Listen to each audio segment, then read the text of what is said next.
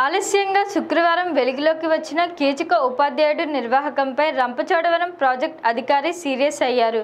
సంఘటన విషయం తెలియడంతో దాలిపాడు ప్రభుత్వ గిరిజన సంక్షేమ బాలికోన్నత పాఠశాలను శుక్రవారం హుటాహుటిన ప్రాజెక్ట్ అధికారి సందర్శించారు.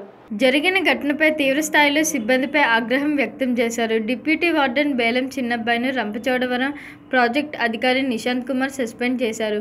నిందితుడు బేలం చిన్నబ్బాయిని ప్రాజెక్ట్ అధికారి ఆదేశాల మేరకు పోలీసులు కస్టడీలోకి తీసుకున్నారు. నిందితుడు బేలం చిన్నబ్బాయిపై ప్రోక్ చట్టం రెండు వేల పన్నెండు ప్రకారం వివిధ ఐపీసీ సెక్షన్ల కేసులు నమోదు చేసి బాధిత బాలికను వైద్య పరీక్షలు చేయించి చేయించి కౌన్సిలింగ్కు తరలించారు. సంబంధిత పాఠశాల ప్రధానోపాధ్యాయుడు సంఘటన చోటు చేసుకున్న విషయం ఉన్నతాధికారులకు సమాచారం ఇవ్వడంలో విఫలం కావడంతో మరియు ఈ ఘటనలో స్థానిక ప్రధానోపాధ్యాయుని పాత్ర కూడా పోషించినట్టుగా ఉందని భావించి విచారణ పూర్తి అయ్యే వరకు తనను కూడా విధుల నుండి ప్రాజెక్ట్ అధికారి సస్పెండ్ చేశారు. జరిగిన ఘటనపై తూర్పుగోదావరి జిల్లా ఎస్పీకి వివరించి విచారణ జరిపించాలని ప్రాజెక్ట్ అధికారి కోరగా తానే స్వయంగా విచారణ నిర్వహిస్తున్నారని ఎస్పీ తెలిపారని ఆయన అన్నారు.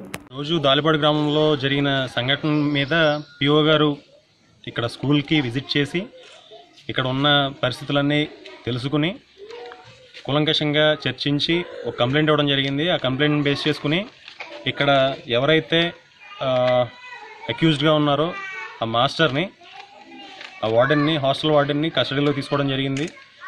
దీని మీద పిఓ గారి ద్వారా ఇవ్వబడిన ఈ రిపోర్ట్ని బేస్ చేసుకుని ఎఫ్ఐఆర్ రిజిస్టర్ చేస్తాం. అతన్ని ప్రస్తుతానికి కస్టడీలో తీసుకున్నాం. పైగా ఎటువంటి ప్రైవసీ ఫస్ట్ డిస్టర్బ్ కాకూడదు ఐడెంటిటీ ఎక్కడ డిస్క్లోజ్ కాకూడదు. As per supreme court judgment as per rule as పర్లో మనం దీని గురించి చాలా చాలా జాగ్రత్తగా ఉండాలి. అందుకని మీ అందరికీ కూడా కోరుకుంటున్నాను. పేరెంట్స్ ఐడెంటిటీ కానీ అమ్మాయి ఐడెంటిటీ కానీ ఎక్కడైనా మీరు రిపోర్ట్ చేయకూడదు. అది అగేన్స్ట్ లా ఓకే? వచ్చిన అలిగేషన్స్ కొద్దిగా సీరియస్గా ఉన్నాయి. కాబట్టి దీని గురించి ఫుల్ ఎంక్వైరీ ఆర్డర్ చేశాము ఈటీడబ్ల్యూ సైడ్ నుంచి కంప్లైంట్ ఇవ్వడం జరిగింది.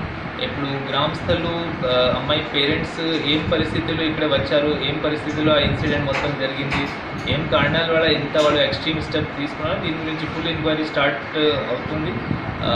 కొన్ని సీరియస్ ఆఫెన్సెస్ దీనిలో కనపడుతున్నాయి కానీ పూర్తిగా నిజం ఉందా లేదా మాకు కంప్లీట్ ఇన్వెస్టిగేషన్ అయిన తర్వాతనే తెలుస్తుంది. వెంటనే అమ్మాయిని మెడికల్ ఎగ్జామినేషన్కి పంపిస్తాము ఇంకా కౌన్సిలింగ్ కూడా పంపిస్తాము. హెచ్ఎంని కూడా సస్పెండ్ చేయడం జరిగింది.